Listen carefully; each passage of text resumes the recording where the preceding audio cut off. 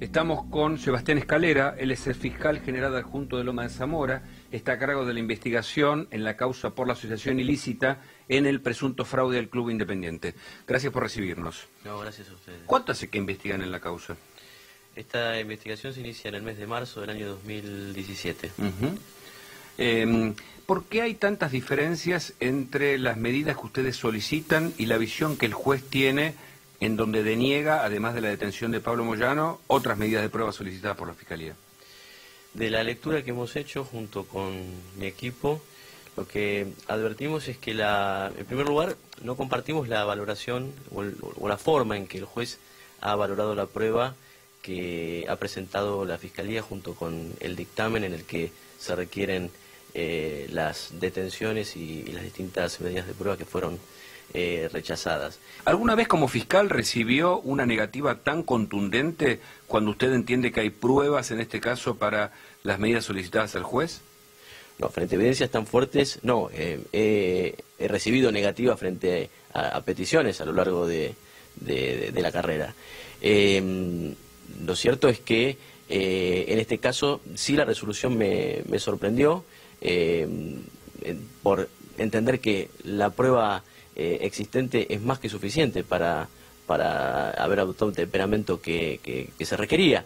Eh, lo que sí eh, me sorprendió aún más es que además de las detenciones que se habían requerido, se solicitaron una serie de medidas de prueba que la Fiscalía consideraba que eran o son fundamentales para poder profundizar la investigación. ¿Por qué entiende que Pablo Moyano tiene que tener una prisión preventiva, es decir, tiene que estar detenido para afrontar parte de esta investigación? ¿Y cuál es el resto de eh, los organizadores de la presunta asociación ilícita. Bien, eh, a partir de la revolución de la prueba que se ha realizado eh, en, la causa y en función de la nueva prueba que se agregó, además de entender que con el grado de probabilidad necesaria, Pablo Moyano resulta ser el líder de esta asociación ilícita, que, como digo, es una asociación ilícita integrada por la barra brava de Independiente y parte de dirigencia del club. Es decir, no es la, no es la asociación ilícita de la barra brava, como de alguna manera ha interpretado el juez de garantías en, su resolución.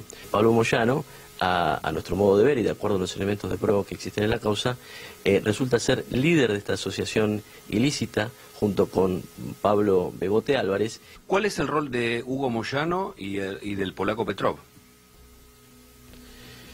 Eh, Hugo Moyano a esta altura se encuentra eh, notificado de la formación de la causa, es decir, fue notificado en los términos del artículo primero y 60 del Código Procesal Penal y se encuentra imputado? es el primer acto de imputación formal de la causa. Esto se hizo eh, hacia el mes de febrero de este año con motivo de las pericias que se dispusieron y que se encuentran en plena etapa de producción eh, relativas a eh, el material que se secuestró en la sede social del club y en la empresa Integradores. Eh, ¿El polaco Petrov era un nexo entre Pablo Moyano y, Bebote Álvarez, otro de los que comandaba esa organización?